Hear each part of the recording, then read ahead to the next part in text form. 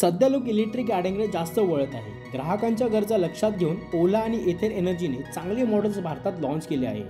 तसेच या गाड्यांना मार्केटमध्ये जास्त मागणी आहे. आता अशी बातमी समोर आली आहे की एथर एनर्जी पुढील वर्षी दोन इलेक्ट्रिक स्कूटर लॉन्च करणार आहेत. एथर एनर्जीचे सीईओ आणि सहसंस्थापक तरुण मेहता यांनी सोशल मीडिया पोस्टद्वारे दोन हजार चोवीसमध्ये दोन इलेक्ट्रिक स्कूटर लॉन्च करण्याबाबत अधिकृत माहिती दिली आहे.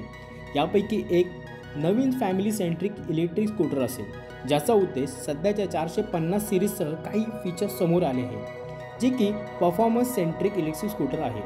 तर दुसरी स्कूटर चांगले परफॉर्मन्स फीचरसह चारशे पन्नास एक्सचे वर्जन असेल.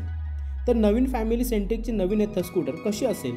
सध्याची चारशे पन्नास एस आणि चारशे पन्नास X sporty drive to drive scooter आहेत. परंतु त्याची कॉम्पॅक्ट साईज ही चांगली नाही.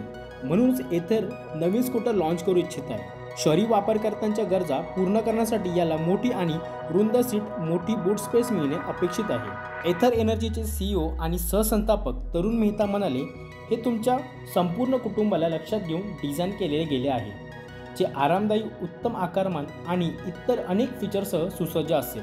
मेहता यांनी या स्कूटरला सध्याच्या चारशे पन्नास सिरीजमधील डेव्हलपमेंट म्हटले आहे जी आधीच नव्वद किमी प्रति तास वेगाने देशातील सर्वात वेगवान स्कूटरपैकी एक आहे.